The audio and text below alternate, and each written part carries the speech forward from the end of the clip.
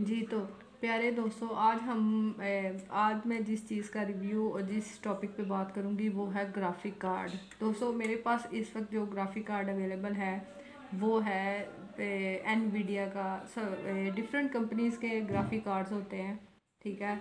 Intel है और Nvidia है, जो सबसे ज़्यादा रिकमेंडेड है वो एनवीडिया ही है। सबसे अच्छा कार्ड जो है वो एनवीडिया कंपनी का ही होता है। इस वक्त जो मेरे हाथ में मॉडल है वो है G T X seven sixty ठीक है? मेरे पीसी में ये ही कार्ड लगा हुआ है, ठीक है? और ये चार जी बी का कार्ड है। आप इसको, मैं आपको चारों तरफ़ से इसको दिखा सकती हूँ। आप अच्छे से इसको दे सकते हैं। यहाँ पे भी इसका मॉडल लिखा हुआ है GeForce G T X seven sixty इसका सबसे ज़्यादा मॉडल का फ़ायदा सबसे ज़्यादा आपको तब होता है जब आपने अपने पीसी में इसके रेलिवेंट ड्राइवर इंस्टॉल करना हो। ठीक है आप इसको चारों तरफ़ से देख सकते हैं। देखिए इसके अंदर जो पोर्ट है वो H H D M I की पोर्ट है।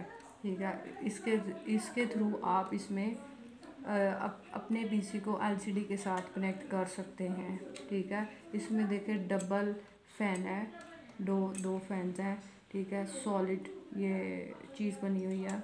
आप चारों तरफ़ से देख सकते हैं, यहाँ से ये मदरबोर्ड के साथ कनेक्टेड होता है। ये उसकी वो पोर्ट्स हैं, ठीक है? जहाँ से इसको सप्लाई मिलनी है। मदरबोर्ड के थ्रू इसने कनेक्ट होना है, ठीक है? यहाँ से हमने इसको पावर सप्लाई देनी है, ठीक है? और ये दो इसके कूलिंग फ़ैन है, ठीक है? जब आपने इसका ड्राइवर डाउनलोड करना है तो आप इसकी वेबसाइट पे जाएँगे एनवीडिया की वेबसाइट पे जाएँगे ऑफिशियल वेबसाइट पे जाएँगे।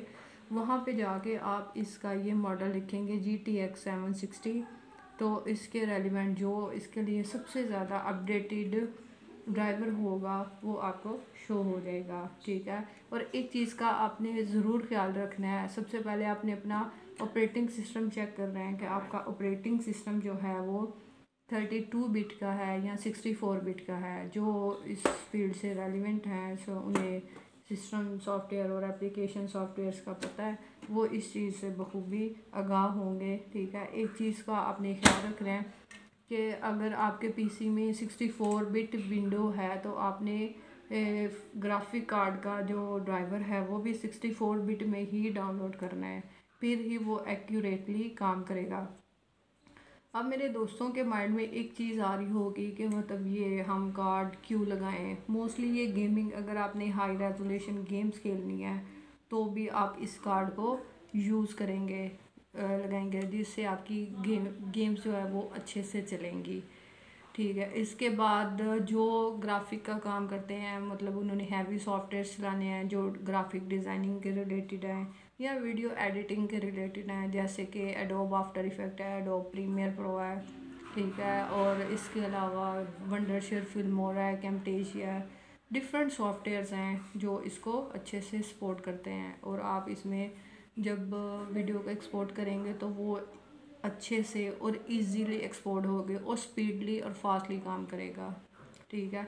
किसी को भी, किसी के बारे में कोई इशू हो, किसी पीसी के बारे में आप किसी टॉपिक में वीडियो बनाना चाह रहे हो तो आप मुझे कमेंट सेक्शन में कमेंट करके कह सकते हैं। इन हम इन फ्यूचर उसी वीडियो पे बात करेंगे। बहुत शुक्रिया, अपना बहुत ख्याल रखिएगा। मिलते हैं किसी नए वीडियो के साथ किसी अच्छे से टॉपिक के पास टेक केयर अल्लाह हाफिज़।